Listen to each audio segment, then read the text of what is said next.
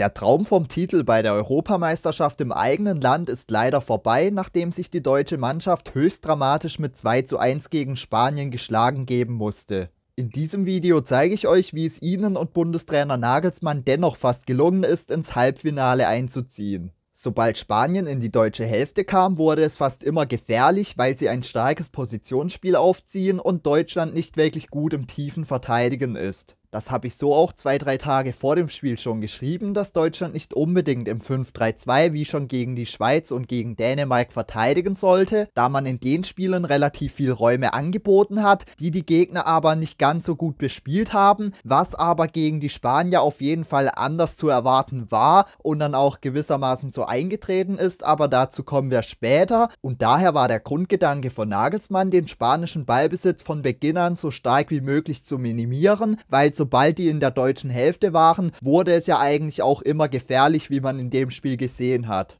Das zu verhindern ist einem entweder über eigenen Ballbesitz gelungen oder durch hohes Zustellen aller Spanier, wenn diese eben den Ball hatten, sodass sie nur in ungefährlichen Bereichen lange am Ball waren. Oft sah es dann folgendermaßen aus, dass der Torwart Unai Simon von Spanien den Ball im spanischen 4-2-Aufbau hatte, aber keine Passoptionen vorfand und dann häufig lang spielen musste, weil halt alle 10 Feldspieler von Spanien von den deutschen 10 Feldspielern zugestellt wurden. Natürlich war es riskant, Spanien so über das komplette Feld Mann gegen Mann zuzustellen. Das Ganze sah dann meistens so aus, Rüdiger agierte dann auch als Rechtsverteidiger, weil Kimmich eins vorgeschoben ist. Groß war dann mit Tar der Innenverteidiger und so war man halt jeweils einem Mann von Spanien zugeordnet. Wie gesagt, musste Unai Simon dann häufig lang spielen, hat er meistens Morata gesucht, der sich als Stürmer häufig gelöst hat, hatte aber mit Tar auch einen relativ starken Gegenspieler, konnte er sich mal durchsetzen, wie in dem Beispiel hier, wurde es auch gefährlich. Hier kann es groß mit einem taktischen Foul noch verhindern, aber meistens war man physisch überlegen und gewann seine Duelle, wenn Spanien sich lang hinten raus befreit hat.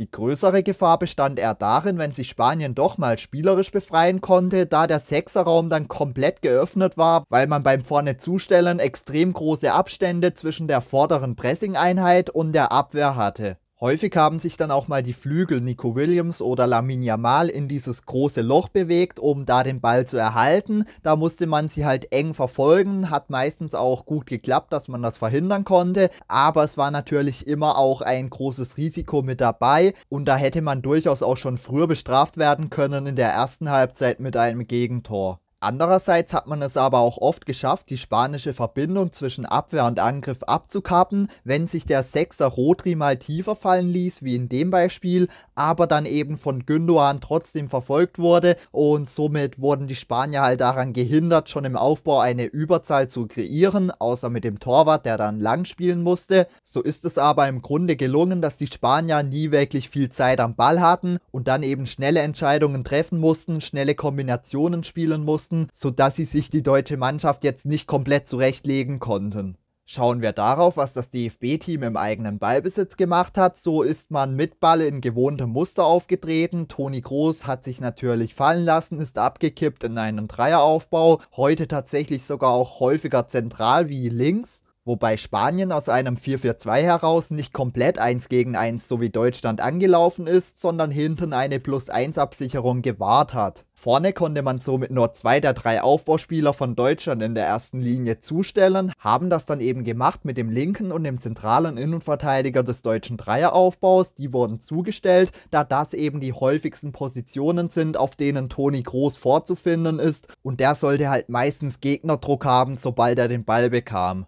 So wurde das Spiel immer wieder auf Rüdiger gelenkt, der meist als einziger Spieler frei war als rechter Innenverteidiger und daher auch häufig halbrechts antribbeln konnte, ohne da so wirklich Gegnerdruck zu bekommen. Hat ja da auch häufig Halbfeldflanken gebracht, da war ich meistens kein Fan von, aber er hatte auf jeden Fall am meisten Zeit am Ball und ja, das war eben bewusst so gewählt, weil er nicht unbedingt der gefährlichste Spieler ist. Also wenn er den Ball hat, gegen den Ball ist Rüdiger natürlich für jedes Team und für jeden Gegner gefährlich. Allerdings war das in Halbzeit 1 mit Chan, der da als alleiniger Sechser spielen musste, nicht wirklich effektiv, weshalb sich dann Gündogan, wie wir hier sehen, auch häufiger mal neben ihm fallen ließ, um ihn da im Zentrum zu unterstützen, aber auch das haben die Spanier relativ gut verteidigt, sodass man offensiv in der ersten Halbzeit nicht allzu viele Aktionen hatte, auch wenn ich sagen würde, dass der erste Durchgang komplett ausgeglichen war. Man hatte zum Beispiel auch zwei Harvard-Chancen, eine war ja tatsächlich nach einem langen Ball von Rüdiger. Da hat man tatsächlich mal genutzt, dass er der einzige Spieler war, der freigelassen wurde. Aber ansonsten war jetzt nicht allzu viel los in der ersten Halbzeit. Nagelsmann reagierte dann zur Halbzeit mit den zwei Auswechslungen von Chan und von Sané, die ich nicht als verschwendete Wechseloptionen ansehen würde, was es jetzt im Nachhinein ja schon so ein bisschen hieß, wurde auch kritisiert, dass sie in der Startelf standen, da war ich auch überrascht, nichtsdestotrotz finde ich, dass sie ihre Arbeit gegen den Ball auf jeden Fall erfüllt haben, zu dem Zeitpunkt, also zur Halbzeit stand es auch 0 zu 0, man hatte dann frische Spieler für das intensive Pressing, so hatte man dann das spielstärkere Personal mit gleich gleichem Druck auf den Gegner in einer ganzen Halbzeit plus Verlängerung auf dem Feld.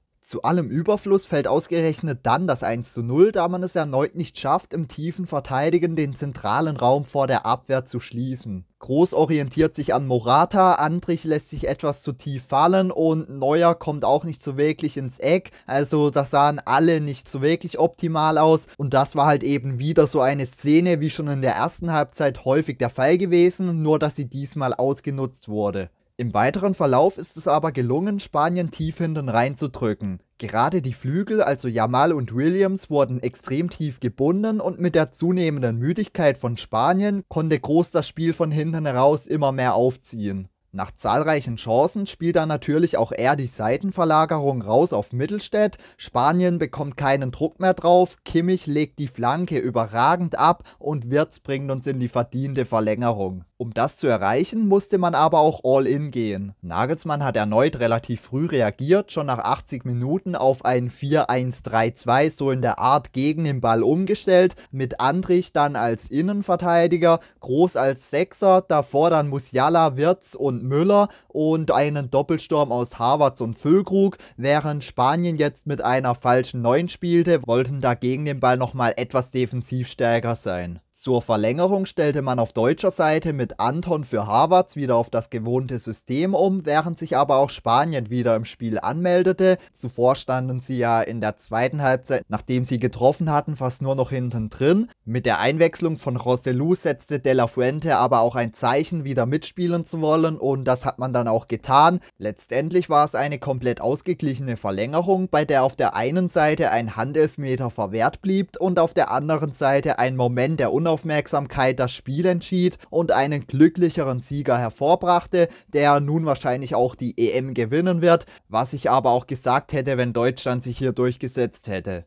Abschließend kann man sagen, dass der Matchplan von Nagelsmann perfekt aufgegangen ist. Er wusste um die Schwächen seiner Mannschaft, die im Spiel auch klar aufgezeigt wurden, hat diese aber durch die eigene Herangehensweise so gut wie möglich minimiert. Vor dem Spiel meinten viele, man hätte keine Chance gegen Spanien, doch am Ende war man die leicht bessere Mannschaft, wie ich finde, die im Spiel der beiden besten Mannschaften im Turnier sehr unglücklich verloren hat. Wir sollten auf jeden Fall stolz sein auf diese Mannschaft und das Trainerteam, denn die haben auf jeden Fall Großartiges geleistet, auch wenn es jetzt schon relativ früh mit dem Viertelfinale vorbei ist, was aber auch sehr unglücklich ist mit dem Turnierbaum, dass man jetzt schon gegen Spanien gespielt hat und da eben in einem Spiel, in dem man nicht die schlechtere Mannschaft war, ausgeschieden ist. Das soweit mal meine Analyse zum wahrscheinlich besten Spiel des Turniers. Ich glaube kaum, dass bei den verbleibenden Mannschaften nochmal ein ähnlich gutes Spiel stattfinden wird. Schreibt mir auf jeden Fall gerne eure Meinung zum Spiel, zu meiner Analyse in die Kommentare. Falls es euch gefallen hat, lasst mir gerne ein Like oder Abo da, wenn ihr es noch nicht getan habt. Und dann würde ich sagen, bis zum nächsten Mal, haut rein und ciao.